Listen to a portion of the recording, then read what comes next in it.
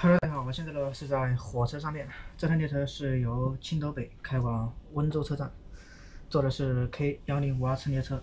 现在列车呢是临时停车的，目前到达的这个地方是胶州车站。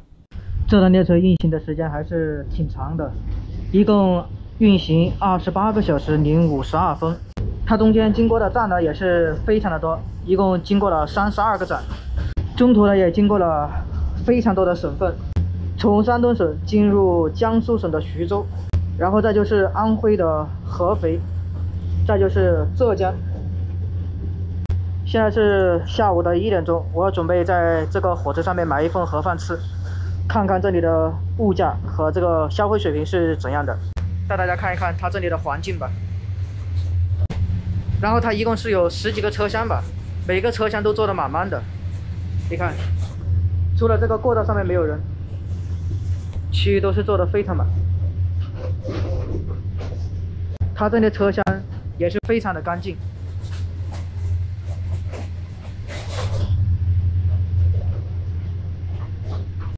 它这里车厢还有一个爱心母婴室，这很不错。它这边十号车厢这里是可以补票的，工作人员在这边。盒饭还没有到。先带大家看一看窗外的风景吧。下过雪的窗外风景啊，还是非常不错的。它这个它这个窗外种的这个树叫什么名字？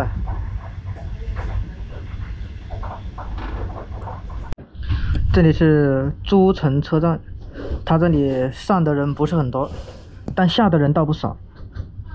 诸城这边的城市建设风貌还是非常不错的。这里都在这里大力的开发和修建啊，未来可期啊！这座城市。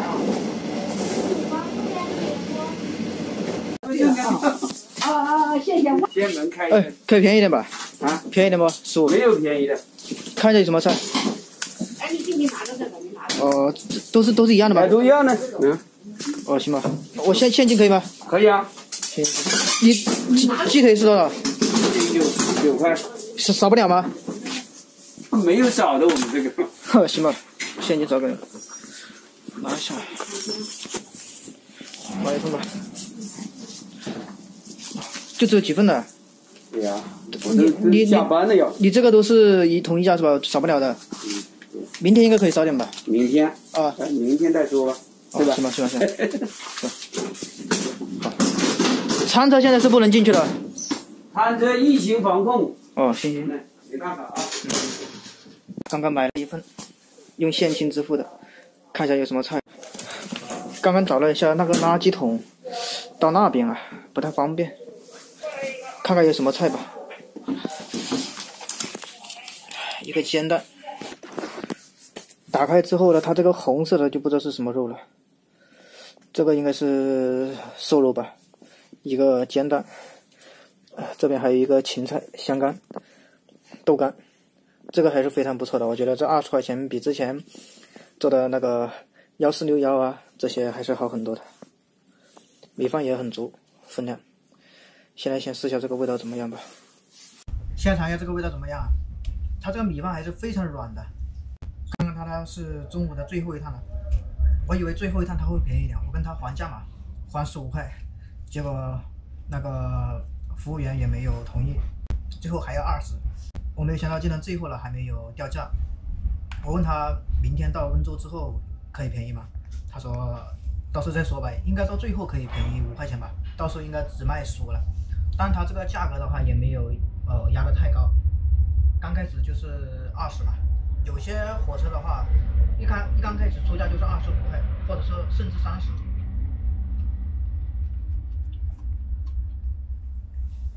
这个是芹菜。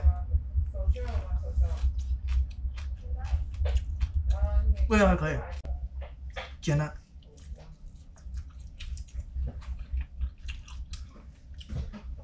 分量还是挺足的，基本上能吃饱。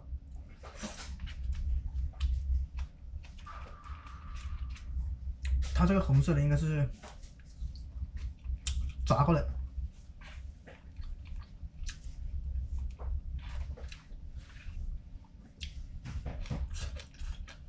它那个鸡腿太贵了，要九块。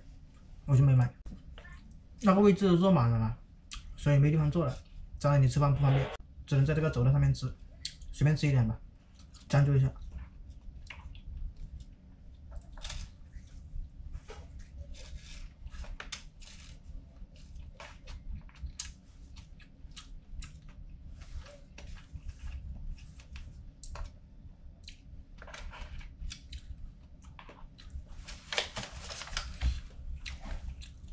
它这个才是那个炸了的豆腐，这个就是小炒肉，普通的小炒肉，还加了一些蒜苔，而且它这里还有一个鱼丸，种类还是挺多的，不过还是挺意外的。吃完了，它这个分量还是挺大的，吃的饱饱的。现在把那个垃圾丢一下。那个这边人还是挺多的。嗯。好，刚刚呢已经是在火车上面愉快的吃完这顿中餐了，午餐吧。大家觉得这个价格，呃，怎么样呢？这个品质我觉得还是挺意外的，呃，因为也确实是我在很多火车站都吃了盒饭的嘛，但是这一次这个价格。